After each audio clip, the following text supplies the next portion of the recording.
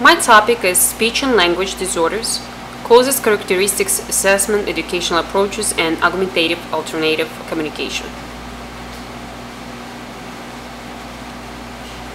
When a person is unable to produce speech sounds correctly or fluently, or he has problems with his or her voice, then he has speech disorder. Difficulties pronouncing sounds or articulation disorders, as stuttering, for example, is a speech disorder. From another side, language disorders, when a person has trouble understanding others, such as receptive language, and sharing or sharing thoughts, ideas, and feelings completely, which is expressive language, then he or she has a language disorder. The stroke can result aphasia or a language disorder. The causes of most speech disorders are not known. Deafness and hearing loss are significant causes of speech delays and disorders. The symptoms of a speech disorder depends heavily on the age of the child. There is no symptoms of speech disorders that apply to all ages of children. Basic guidance about what kind of speech is normal at what age can be helpful in determining if a child is missing significant speech milestones. There are multitudes of possible causes for a speech and language disorder in children. Some are very obvious and some are fortunately not, or at least uncertain.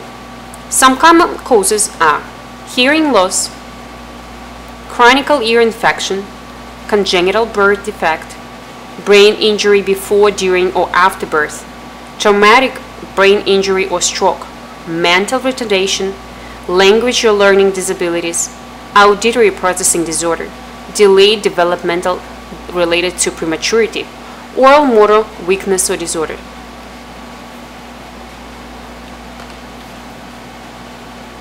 A student with a learning disability, whereby he has difficulties with comprehension and or verbal, oral, or written communication may have a language disorder.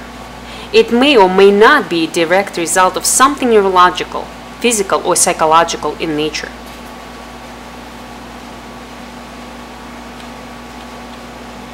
A student that exhibits articulation difficulties and or impairment that can be a direct result of neuro neurological, psych uh, psychological, or physical factors may have a speech disorder. Voice fluency is usually missing. Sometimes a child will have both language and speech delays. Note that language delays include lack of understanding, comprehension, and the ability to, rely, uh, to, to relay thoughts. Characteristic of speech and language disabilities including individuals with communication disorders have considerable difficulties making themselves clearly understood and may also have difficulty com composing their thoughts and ideas or in understanding what is said by others. These difficulties are generally due to neurological and mechanical disabilities involving the voice. A child with communication disorder may also present such characteristics as the ability to follow instructions or slow comprehensive speech.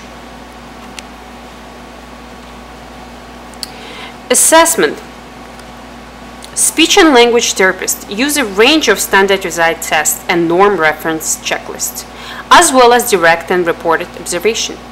The therapist works closely with the educational psychologist in order to determine if disorder, in general or specific, and if other disorders may be implicated, for example, ADHD, dyslexia, dysgraphia, it is important to remember that other developmental disorders can and often do co